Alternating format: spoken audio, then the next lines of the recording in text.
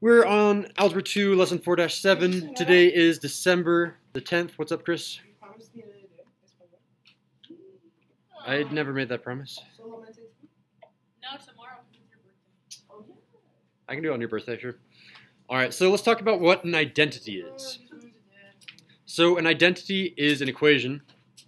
Write it down, equation.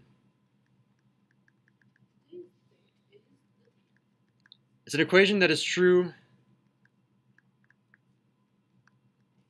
for all values and then in parentheses that can be subbed in for the variables. That can be substituted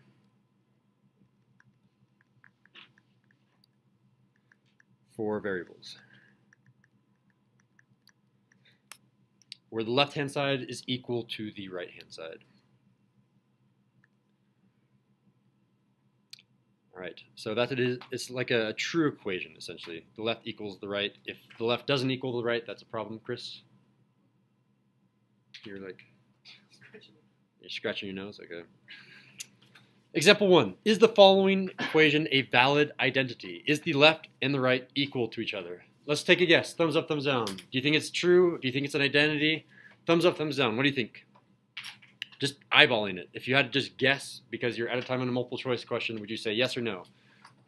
I see most of us are doing thumbs. Actually, it's about 50-50. Some thumbs up, thumbs some, some thumbs down. Okay. So Wait, in order, get back to you. you take it back, thumbs up. So in order to solve these, you have to follow the steps. Like um, on the back side, we'll follow the steps. On the front side, you actually have to do the steps all on your own. You need to multiply a plus b times a plus b. How do we multiply binomials? Do you remember that? How do you multiply just polynomials for that matter? Quiet raised hand with your participation card. I see Teflon has her participation card with her quiet raised- hand. What is it? Oh, okay, Fiona. What's that picture thing that we always use? What is this thing that we always use to multiply? Yeah, how did we use the box? A plus B. On top, All right, I put A plus B on the top, and then A plus B on the sides. A plus B right there, and then what goes in this first box? Yeah, you got it. Okay, turn in your participation participation card. I'll give this to someone else now. Let's come over here. Let's come to our class. I'm glad I don't have a trash can at the very end of the, the table anymore. Can you go back to that? Come back to here. Dude, how am I at three? You were late and you didn't do your homework. All right, so what goes in this box? Quite raised hand, Eva.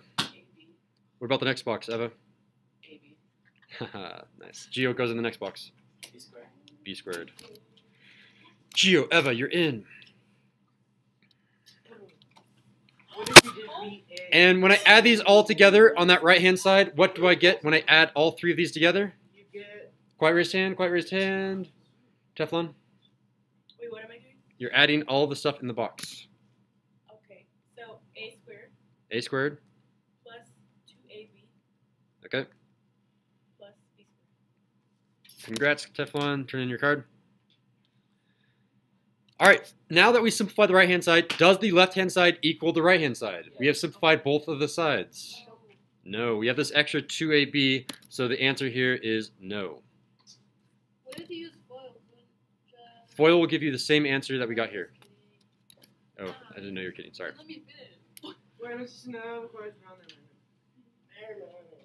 Never mind, never mind. Okay, so that one is not a valid identity. Let's try example two. This one is kind of cool. All right, so again, I'm going to multiply polynomials. So someone help me set up the box. What goes off the top? What goes on the bottom? Let's do the longer one on the top. What? Which one's on the top? Uh, the bigger one. We'll do this one on the top.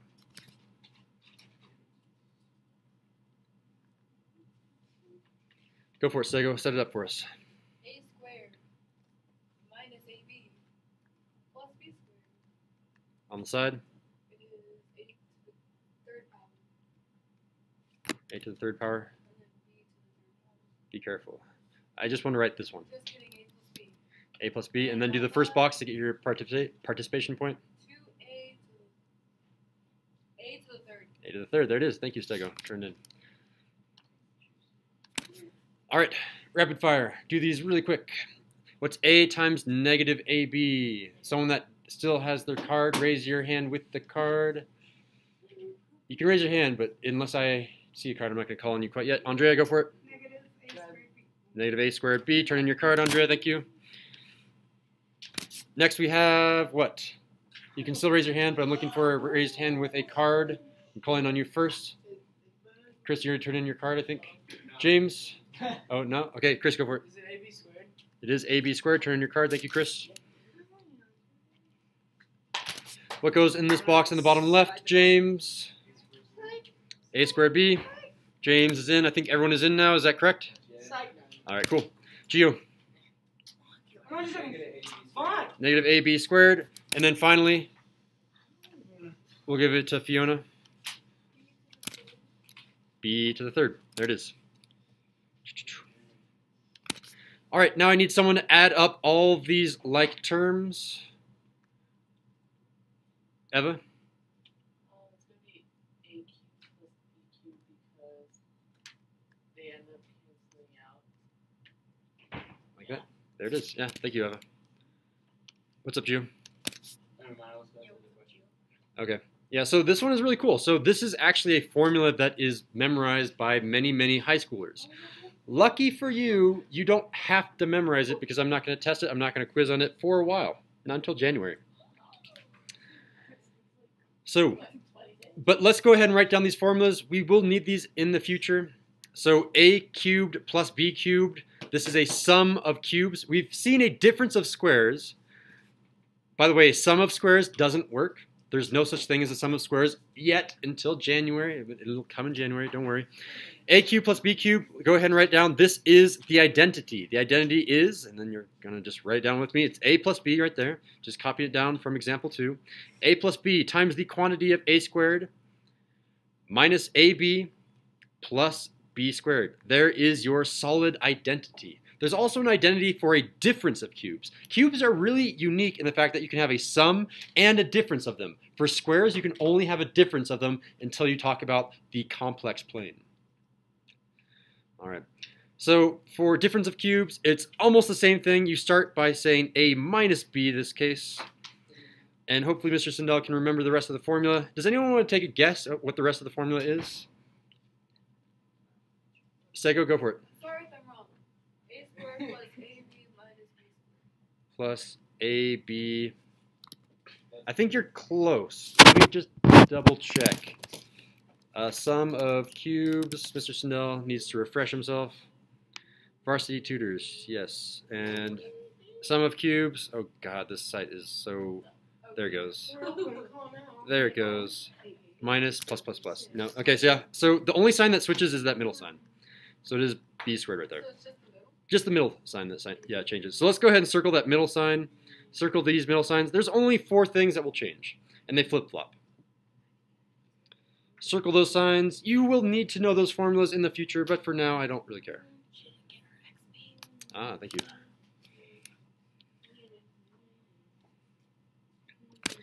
All right, questions thus far?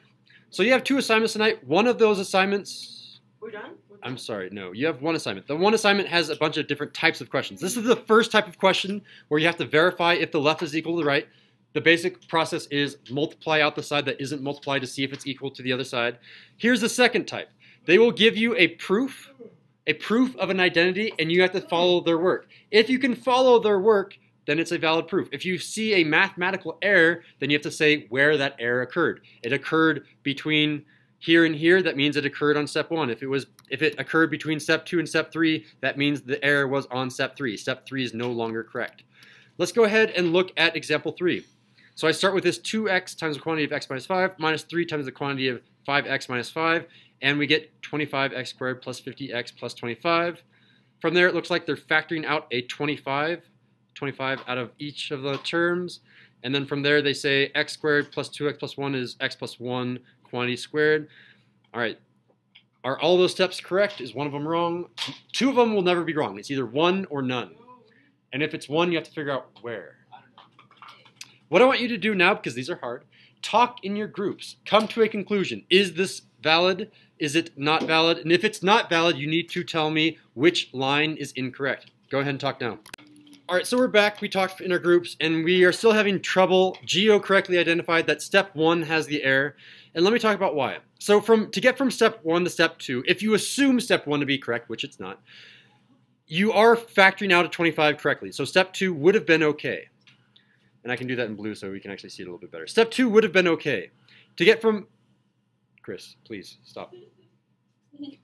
To get from step two to step three, that is also correct because a square, a squared binomial, you double, or you square the first, square the first, double the product, one times x is 1x, doubled is 2x, and square the last. Each of those is correct. That means step three is correct to get from step two to step three. However, to get from the original problem to step one, there's nothing that says that you should get here. This is kind of just random gibberish. I mean, there's some fives in there that makes it look like it might have happened, but there's no way to get from here to step one. That is an incorrect step, which means step one, there's an error. So the answer is no. It is not a valid proof. Error on step one. There's no way to get to step one correctly. Like that is just some random gibberish that I decided to spew out. Let's look at example four. Is this following proof valid? And there are a lot of steps. So you have to say, yes, all those steps are good, or no, this one step is wrong. So again, you're talking in your groups. Which of these steps is wrong, if any, or maybe all of them are good? Go now. All right, so we're back. Um, there is an error on here. Where is that error? What line does that error occur? Quite raise hand for XP. Teflon. So, um, on step four. On step four, okay. You're correct. Oh wait, step three. Oh wait, no, the, it's wrong on step three. So it's, it's correct up to step three, and then from step three to step four, that's where the error occurs, which means step four is the incorrect step. All right, you're correct. Can you explain why? Yeah. Okay, tell us. Step three, it says negative four to the second power. Yep. So that should be negative four times negative four, and so it should be positive sixteen. Uh, this should be a plus sign right there. Yep, that is definitely one of the two errors. There's a second error too. Does anyone else see it? Yeah, Eva. Shouldn't it be a positive 32? There should also be a negative 32x to the power of, or no, you're right. Sorry. You said, you said eight, or it's 32. Or like step five should be positive 32. Oh well, yeah, obviously. Okay, yeah. So if it's if it's going down, then yes, you would distribute that, and that's fine. So assuming that step four is incorrect, or assuming that step four is correct, then step five is okay. Here's the second error. If I were to multiply this out, and you can write this down to get some review down, if I have x squared minus four, and I multiply that times x squared minus four, if I FOIL it out, x squared minus four, you should get a middle term. Let's check it out. x squared times x squared is is x to the fourth. Negative 4 times negative 4 in this box is positive 16. So that was the first error that we caught, but check this out. Okay, negative 4 times x squared, negative 4x squared. Negative 4 times x squared, negative 4x squared, which means if I multiply x squared minus 4 times x squared minus 4, it should have been x squared minus 8x plus 16. So yes, it should have been plus 16, which we caught, and there should have been a middle term. There were two errors that were made on step 4. So the answer here, again, happens to be no. Error on step 4. Wait, would it be negative x squared if you do minus the square? Because negative four x squared plus negative four x squared. But you just wrote negative eight x without the square. It should be squared, yeah. That should be squared, that should be to the fourth. That is, yeah, it's a teacher error, so log it in your extra credit tracker. I'll give you the extra credit, or the uh, points on here, which is 70. Very nice, yeah. I like it when people catch me. So no, um, it is not a valid proof. There's an error on on step, I was writing step, yeah, on step four. And that concludes the notes. Are there any questions? That is not a valid question. All right, go ahead and write your summaries now.